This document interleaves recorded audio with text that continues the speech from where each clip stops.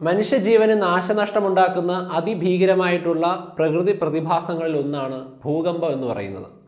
ഭൂകമ്പം എന്നതുകൊണ്ട് ഭൂമി മുഴുവൻ കുലുങ്ങുന്നതാണോ എന്ന് എന്നോട് ചോദിച്ചവരുണ്ട്. അതായത് ഭൂമിക്ക് മൊത്തത്തിലുണ്ടാകുന്ന ഒരു കമ്പനമാണോ ഭൂമി കുലുക്കുമെന്ന് ചില പ്രദേശങ്ങളിൽ മാത്രമാണ് ഭൂകമ്പം അനുഭവപ്പെടാറുള്ളത്. ഇപ്പോൾ ജപ്പാനിൽ ഭൂകമ്പം ഉണ്ടാകുമ്പോൾ ഇന്ത്യയിലിരിക്കുന്ന നമുക്ക് അത് കാര്യമായിട്ട് അനുഭവപ്പെടില്ല. അല്ലെങ്കിൽ അനുഭവപ്പെടുക തന്നെ ഇല്ല. അപ്പോൾ ഭൂമി മൊത്തത്തിൽ കുലുങ്ങുന്നതാണ് ഭൂമി കുലുക്കമെങ്കിൽ ലോകത്തുള്ള എല്ലാവർക്കും അത് എക്സ്പീരിയൻസ് ചെയ്യാൻ സാധിക്കണം. എന്നാൽ ഭൂമിയിൽ ഉണ്ടാകുന്ന പ്രത്യേക തരത്തിലുള്ള ഭൂമി കുലുക്കങ്ങൾക്കെല്ലാം തന്നെ ഓരോ പ്രഭവ സ്ഥാനങ്ങളുണ്ട്. ഭൂമിയുടെ ഉൾഭാഗത്തുണ്ടാകുന്ന മാറ്റങ്ങളാണ് ഭൂമി കുലുക്കത്തിന് കാരണമാകുന്നതെന്ന് ഒരുപാട് പേർക്കറിയാം. പക്ഷേ അതിന്റെ ഫലമായിട്ടുണ്ടാകുന്ന സീസ്മിക് തരംഗങ്ങളും ഭൂമി കുലുക്കത്തിന് സ്പെസിഫിക് ആയിട്ടുള്ള കാരണങ്ങളും ഒക്കെ തന്നെ ഒന്നിലധികമുണ്ട്. അതായത് പ്രത്യേക പ്ര- പ്രതിഭാസം മൂലം മാത്രം ഭൂമിയിൽ പ്രകമ്പനങ്ങൾ ഉണ്ടാകാറില്ല. മറ്റൊരുപാട് സാധ്യതകൾ അവിടെ ഒളിഞ്ഞു കിടപ്പുണ്ട്.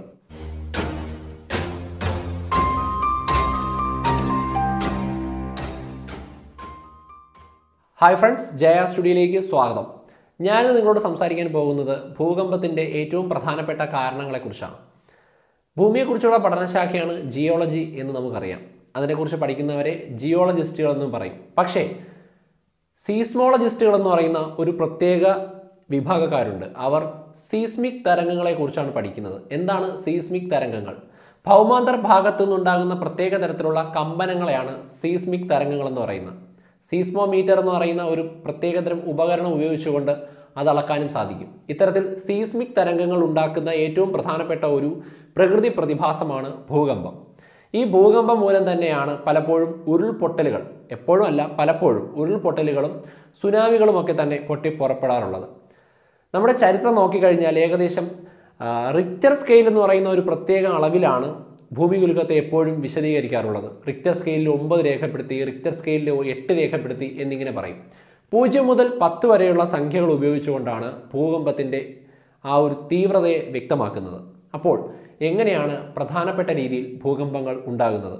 മനുഷ്യനിർമ്മിതമായിട്ടും ഭൂകമ്പങ്ങൾ ഉണ്ടാകാറുണ്ട്. വലിയ വലിയ ഗർത്തങ്ങൾക്കകത്താണ് ന്യൂക്ലിയർ ടെസ്റ്റുകളും മറ്റും നടത്തുന്നത്.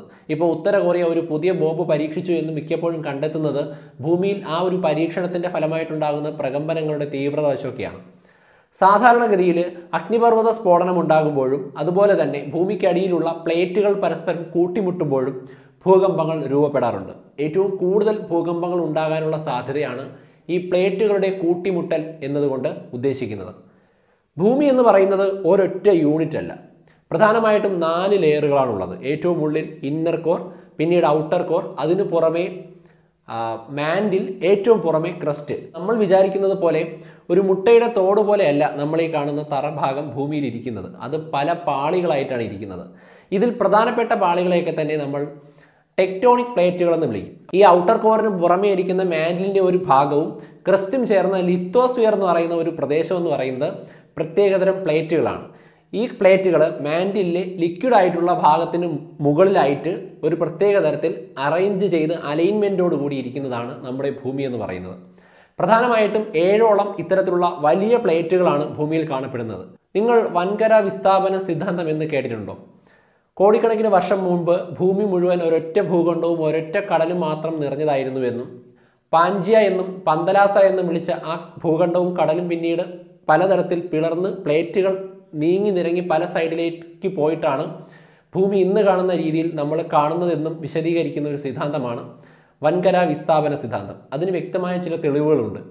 കറക്റ്റ് രീതിയിൽ നമുക്ക് അലൈൻ ചെയ്യാൻ കഴിയുന്ന അറ്റ്ലാന്റിക് സമുദ്രത്തിന്റെ എസ് പോലെയുള്ള കിടപ്പും അതുപോലെ തന്നെ പല ഭാഗത്തു നിന്നും സാമ്യതയുള്ള ഫോസിലുകളും പാറക്കഷ്ണങ്ങളും കണ്ടെത്തിയത്. ഉദാഹരണത്തിന് ഓസ്ട്രേലിയയിൽ കാണപ്പെടുന്നതും അതുപോലെ തന്നെ തെക്കേ അമേരിക്കയിൽ കാണപ്പെടുന്നതുമായിട്ടുള്ള ഒരേ പാറകളിലെ ഒരേ തരത്തിലുള്ള ഫോസിലുകൾ മുൻപ് ഇവ അടുത്തടുത്ത് കിടന്ന പ്രദേശങ്ങളാണെന്ന് തെളിയിക്കുന്നു. തുടങ്ങിയ തെളിവുകളുടെ അടിസ്ഥാനത്തിലാണ് പണ്ട് ഭൂമി ഒറ്റ ഭൂഖണ്ഡത്തിൽ നിന്നും ഇപ്പോൾ പലതരത്തിലുള്ള ഭൂഖണ്ഡങ്ങളായി മാറിയെന്ന് തെളിയിക്കുന്നത്. ഇത്തരത്തിൽ ഭൂഖണ്ഡങ്ങൾ ഉൾക്കൊള്ളുന്ന കുറേ ടെക്ടോണിക് പ്ലേറ്റുകളുണ്ട്. ഞാൻ നേരത്തെ പറഞ്ഞതുപോലെ ലിക്വിഡ് ആയിട്ടുള്ള മാൻഡിലിന്റെ മുകൾ ഭാഗത്തായിട്ട് കിടക്കുന്ന ഈ ടെക്ടോണിക് പ്ലേറ്റുകൾ വർഷം ഒന്ന് മുതൽ പത്ത് സെന്റിമീറ്റർ വരെ നീങ്ങിക്കൊണ്ടിരിക്കും.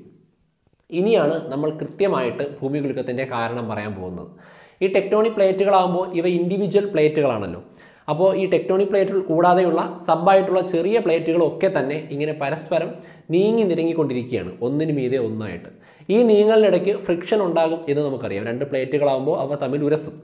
ഈ ഉരസലിനിടയ്ക്ക് എവിടെയെങ്കിലും സ്റ്റക്ക് ആവുകയും ഈ ഉരസുന്നതിന് കാരണമായിട്ടുള്ള എനർജിയുടെ ആ ഒരു സ്ട്രെസ് മൂലം ഇവ വളരെ പെട്ടെന്ന് ഇളകി മാറുകയോ കുത്തി താഴുകയോ ഉയർന്നു വരികയോ ഒക്കെ ചെയ്യുന്ന ഭൗമ ചലനങ്ങളാണ് പ്രധാനമായിട്ടും.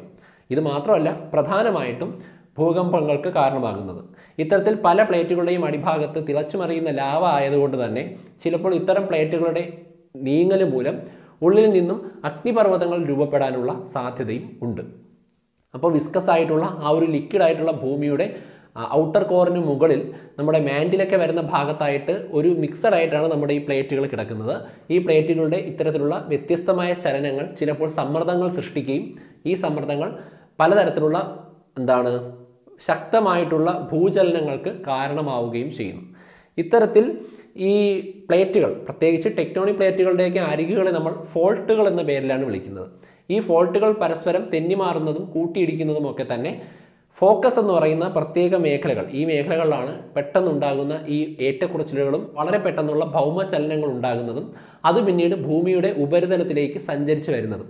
ഇത്തരത്തിൽ സഞ്ചരിച്ചു വരുന്ന തരംഗങ്ങളാണ് സീസ്മിക് വേവുകൾ അല്ലെങ്കിൽ ഭൂചലനത്തിന് കാരണമാകുന്ന ഭൗമ തരംഗങ്ങൾ. ഈ തരംഗങ്ങൾ ഭൂമിയിലെത്തുകയും ഭൂമിയിലെ വസ്തുക്കളെ ആക്രമിക്കുകയും ചെയ്യുന്നു. ഇത് സാധാരണ രീതിയിൽ ആക്രമിക്കലല്ല. ഇവയുണ്ടാക്കുന്ന പ്രകമ്പനങ്ങൾ പല വസ്തുക്കളുടെയും സ്ഥിരത നശിപ്പിക്കുകയും സുരക്ഷിതമല്ലാത്ത കെട്ടിടങ്ങളും അതുപോലെ തന്നെ മരങ്ങളും ഒക്കെ തന്നെ തകർന്നു വീഴുകയും ചെയ്യുന്നു. മൂന്ന് നാല് തരത്തിലുള്ള സീസ്മിക് തരംഗങ്ങൾ ഭൂകമ്പം മൂലം ഉണ്ടാകാം. ഞാൻ പറഞ്ഞു ഫോക്കസ് എന്ന് പറയുന്ന റീജിയൻ ഈ ഫോക്കസ് എന്ന് പറയുന്ന റീജിയന് തൊട്ട് മുകളിലായിട്ട് ഏറ്റവും അടുത്ത് കിടക്കുന്ന ക്രസ്റ്റിലെ ഉപ ഉപരിതലത്തിനെയാണ് നമ്മൾ എപ്പി സെന്റർ എന്ന് വിളിക്കുന്നത്. ഉദാഹരണത്തിന് ഞാൻ നിൽക്കുന്ന സ്ഥലത്തിന് തൊട്ട് താഴെയാണ് ഇത്തരത്തിലുള്ള രണ്ട് പ്ലേറ്റുകൾ തമ്മിൽ ബ്ലോക്ക് ആയതിനു ശേഷം അവിടെ ഭൂചലനം ഉണ്ടായത് എന്ന് വിചാരിക്കുക. ആ പ്രദേശത്തെ ഫോക്കസ് എന്ന് വിളിക്കാം. ആ ഫോക്കസിൽ നിന്ന് നോക്കുമ്പോൾ ഏറ്റവും അടുത്ത് കിടക്കുന്നത് എന്റെ റീജിയനാണ് അപ്പോൾ ഏറ്റവും ആദ്യം തരംഗങ്ങൾ എത്തുന്നതും ഏറ്റവും കൂടുതൽ ഡിസ്ട്രക്ഷൻ ഉണ്ടാകുന്നത് എന്റെ പ്രദേശത്തായിരിക്കും. ഇത്തരത്തിൽ ഭൂമിയുടെ ഉപരിതലത്തിലേക്ക് വരുന്ന മൂന്ന് തരം തരംഗങ്ങളുണ്ട്. Primary wave secondary wave surface wave ഈ പ്രൈമറി വേവ് എന്ന് പറയുന്നത് നമ്മൾ പി വേവ് എന്നുള്ള രീതിയിൽ വിളിക്കും. ഈ വേവുകൾ ചിത്രത്തിൽ കാണിച്ചിരിക്കുന്നത് പോലെ കംപ്രഷനും റെയർഫാക്ഷനുമായിട്ടാണ് സഞ്ചരിക്കുന്നത്. അതായത് ഭൂമിയുടെ ഉപരിതലത്തിലേക്ക് പ്രത്യേക തരത്തിൽ മർദ്ദം ചെലുത്തുന്നു.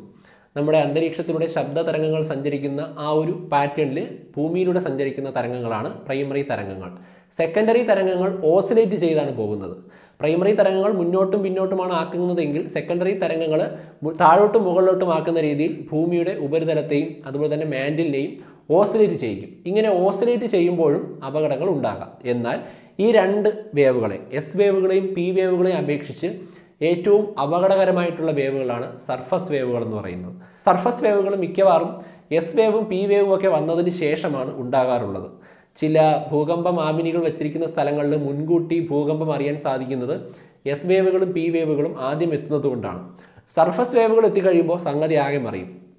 പ്രത്യേകം റൊട്ടേറ്റ് ചെയ്തുകൊണ്ട് ചുഴറ്റി എറിയുന്ന രീതിയിലാണ് ഉപരിതലത്തിൽ സർഫസ് വേവുകൾ ഉണ്ടാവുക. നമ്മൾ വിചാരിക്കും ഭൂകമ്പം ഉണ്ടാകുമ്പോൾ നിന്ന നിപ്പിന് കെട്ടിടം തകർന്ന് താഴെ വീഴുമെന്നാണ്. പക്ഷേ സാധാരണഗതിയിൽ അങ്ങനെയല്ല. റെയിലേ വേവുകളും ലവ് വേവുകളും ഉണ്ട്.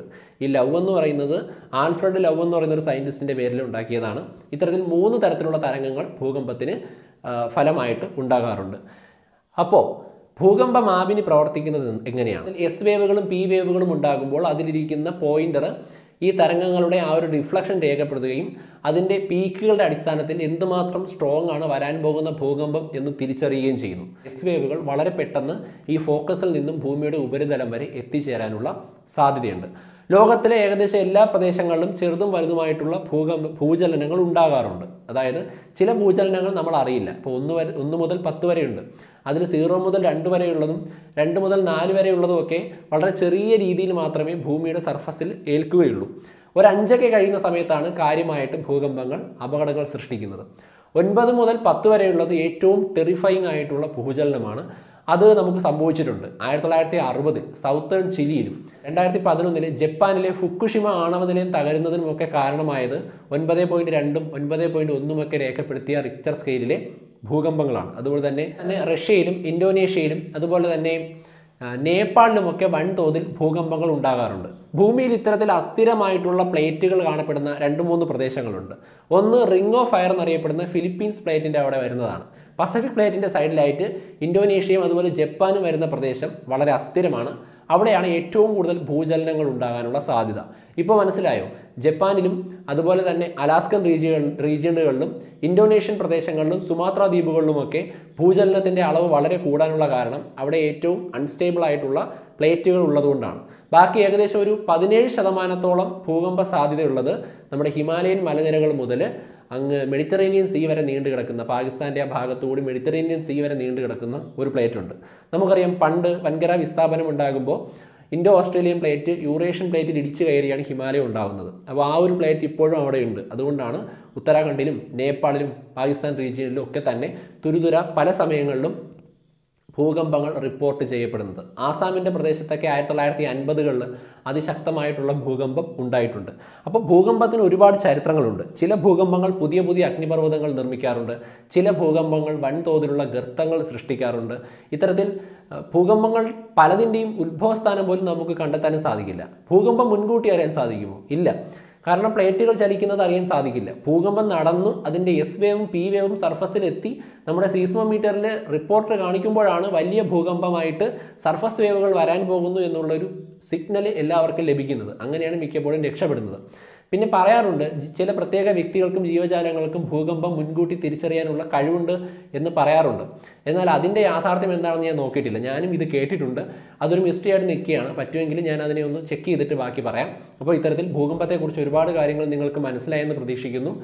ചെറുതും വലുതുമായ ഭൂകം ഭൂകമ്പങ്ങൾ അനുഭവപ്പെടാത്ത വളരെ കുറച്ച് പ്രദേശങ്ങൾ മാത്രമേ ലോകത്തുള്ളൂ. അതുകൊണ്ട് തന്നെ ഭൂമിയുടെ തന്നെ വളരെ ശക്തമായിട്ടുള്ളൊരു ആന്തരിക പ്രതിഭാസമാണ് ഭൂകമ്പം എന്ന് പറയുന്നത്. ഭൂകമ്പത്തെക്കുറിച്ച് ഒരുപാട് കാര്യങ്ങൾ നിങ്ങൾക്ക് മനസ്സിലായെന്ന് പ്രതീക്ഷിക്കുന്നു. ഇതുവരെ ഇൻട്രസ്റ്റിംഗ് ആയിട്ടുള്ള ടോപ്പിക്കുമായിട്ട് നമുക്ക് അടുത്ത ദിവസം കാണാം. അതുവരെ ബൈ